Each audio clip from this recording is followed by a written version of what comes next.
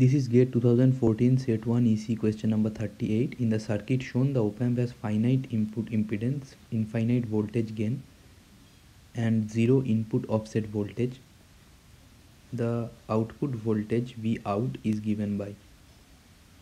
Now four options are given, and the NPTEL reference is lecture number 37 Operational Amplifiers of the course Electronics by Professor D. C. Dube, Department of Physics, IIT Delhi, and the reference lecture link is given coming to the useful data that we will be needing in order to solve this problem is that op amp gain that is voltage gain AV tends to infinity then this V2 equal to V1 this phenomenon is known as virtual ground.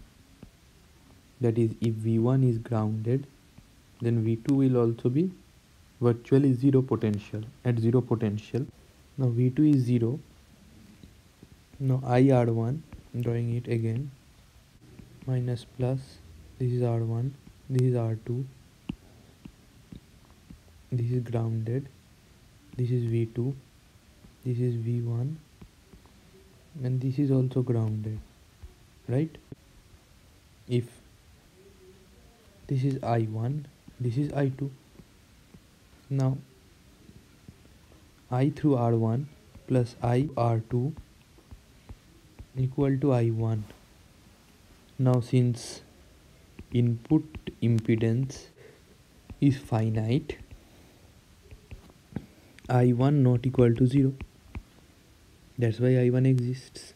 Now since of virtual short this is due to virtual short or virtual ground v2 is 0 since v1 is 0 since v1 is grounded. So v2 or v1 equal to v2 equal to 0 now this i through r1 is 0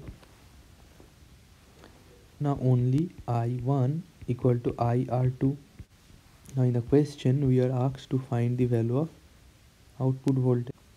Applying KCL at node A let us name this node a. I through r1 this one. I through r1 plus i through r2 equal to i1 now i through r1 is 0 i through r2 in this direction is given by v naught minus v2 which is 0 divided by r2 which is equal to i1 so v naught equal to i1 r2 so the answer is output voltage is i1 r2 so option c is the correct option.